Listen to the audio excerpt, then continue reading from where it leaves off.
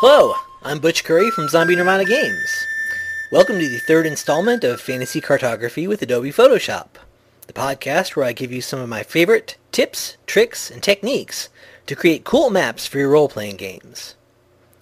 In our first two episodes, we created this aged paper background to build our map on. Now we're going to jump right into something really fun as we start to add some forest to it. So let's get started. There are a lot of different ways you could add forest to a map like this. Uh, the one that I really prefer for this particular style involves creating a custom pattern and then turning that into a pattern fill or adjustment layer. There are a lot of advantages to using patterns and pattern layers in your map making. They give you a lot of flexibility, and they can save you time because you can use them over and over again. With just a little bit of extra work, you can make it look as though you've drawn hundreds and hundreds of trees, uh, when really you've only drawn a few dozen. In order to make our pattern, we're going to start by creating a new document. I'm just going to close this and get out of the way. Hit Control N to make a new document. Uh, as you can see, it's not very big. It's only one inch by one inch. But we want it to be a pretty high resolution. That's going to give us a lot of that flexibility later on. It's going to allow us to scale the pattern up and down without losing any of our image quality. Uh, the pattern's only going to be in black and white anyway, so we can work in grayscale. Just going to click on OK. To draw this in, I'm just going to use a 9 pixel hard-edged brush, nothing fancy. And right here in the middle of the document, I'm just going to start drawing in some treetops. Now we want to make sure that this is going to tile seamlessly later. So we want to make sure that you always work in the middle of the document don't work all the way out here, all the way to the edge. After you've gotten a few treetops drawn in, you can go ahead and start to offset it to create the tiling effect. We're going to do that by coming up to Filter, down to Other, and over to Offset. I'm going to pull this over to the side here so you can see how that is moved over. I'm going to bump these up so you can really see what's happening as it wraps around. See, make sure you've got wrap around selected there for the undefined areas. And it takes those treetops that we've drawn and moves them over 300 pixels to the right, 300 pixels down. Wraps them around the edges. That's going to make that seamless tiled effect that we'll need to create the pattern.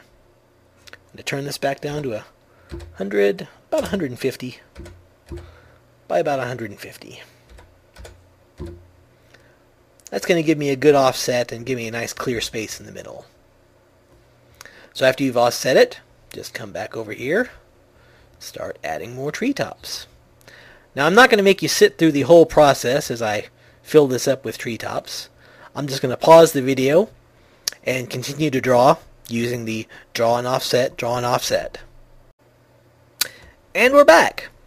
As you can see, I've almost finished. Uh, but I came back a little bit early just so I could share with you a couple of my favorite time-saving tricks. Uh, the first one is if you want to use the same filter that you've been using over and over again, like I have been while I've been filling these trees in, you can just hit Control F. That'll run the same filter with the same settings. So you can go back in and start drawing a few more treetops in. If you want to run the same filter but with different settings, you can hit Alt Control F.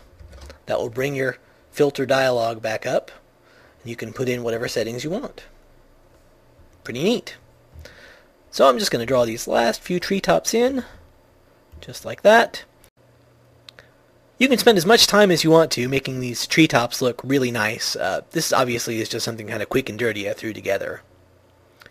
Now in order to turn this into a pattern, we're going to come up here to Edit, then down to Define Pattern. Surprise, surprise. We're going to call this forest and hit OK. And we'll just put this out of the way. Now we're going to bring our map back up. There we are. We're going to add our pattern layer to this map by coming over here to the Layers palette, to the Add Fill or Adjustment Layer button. You've seen me use this one a lot in the last couple of episodes and come up here to pattern. And you can see the pattern we just created will automatically be the one that pops up. This is obviously too big, so we're just going to scale it down. We'll bring it down to about 25%. See how that looks. Now we can't see through it yet. We're just going to come up here and change the blend mode to multiply. That'll take away all the white areas and just leave the black tree outlines. Just like that. Now you can go back in. You can always change the scale. If you decide it's too big or too small, take it down to 20%. See how those treetops look on your map and see if they're the scale that you want. I'm going to leave it at about 25. That was about right. Just like that. Now obviously we don't want to have trees all over the entire map. We just want to have them in a few select areas. So what we're going to do is we're going to select the layer mask and invert it. Turn it from white to black just by hitting Control I. And now the forest is gone. But we can very easily put it right back in just by switching to our brush, making sure that the foreground color is white, and painting on this layer mask. And that will just paint the forest right back in wherever we want it to go. You can go around wherever you want on your map and add forest with just a few brush strokes, like magic.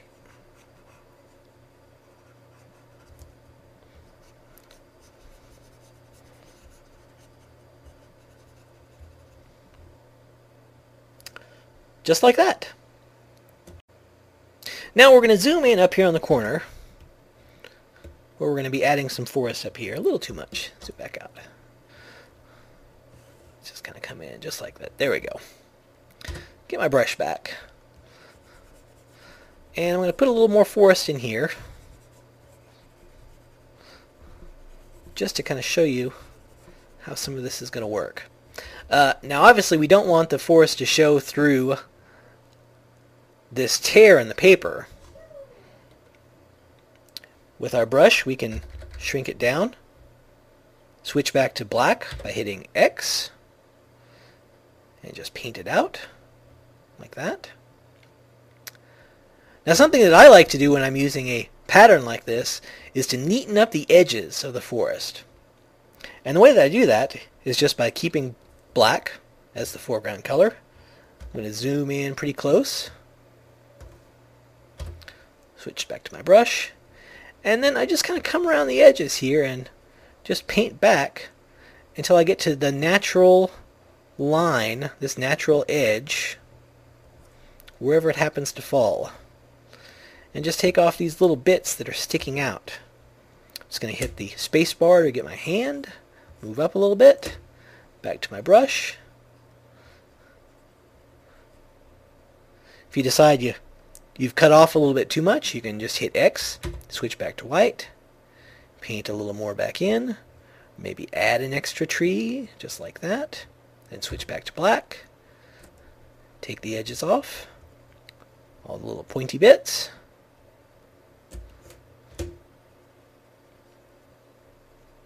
just like that. When we zoom back out, you can see how that's created a more natural edge along the tree line here. Normally I'd spend a lot more time going through and uh, fixing the edges and neatening them up, but you, you get the idea.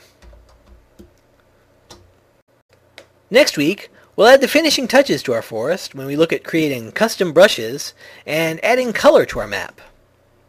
In the meantime, make sure to check out zombienirvana.com for more information about this podcast, my upcoming book, Fantasy Cartography with Adobe Photoshop, and weekly Photoshop tips posted every Tuesday. Thanks for listening, and happy mapping! Will go, lassie, will go?